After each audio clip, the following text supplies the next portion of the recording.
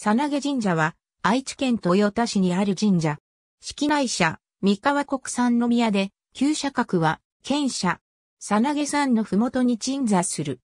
ただし大臼命が主催神とされたのは、近世以降で、それ以前は、猿田彦命、吉備武彦、木入彦命、佐伯命、法投げ神、大友武比命など小説があった。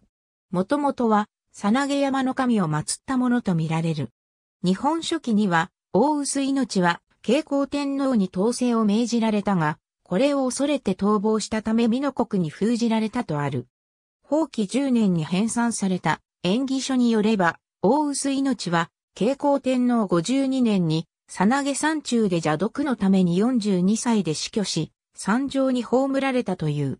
さなげ山西方にある西宮の背後に、大臼命の墓がある。社殿によれば、中愛天皇元年に直眼により、現在地に創建されたという。国史の所見は、日本門徳天皇実録の任寿元年10月7日上、15一下の深海を授けるという記述である。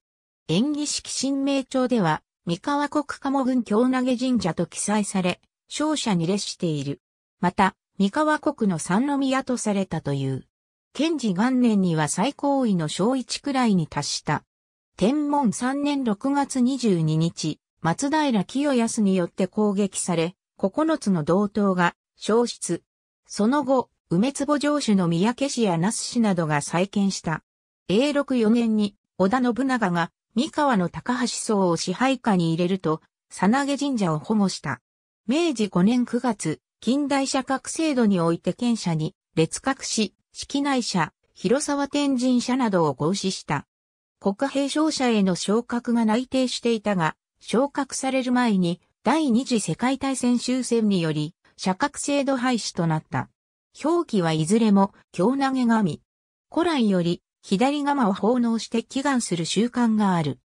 由来は不詳であるが、古老のつてによれば、ソーセージは一方が左利きであり、祭人、大臼命は、大臼の命とソーセージであったので左利きであるとされ、大臼命が、当地の開拓に使ったであろう。左釜が奉納されるようになったという。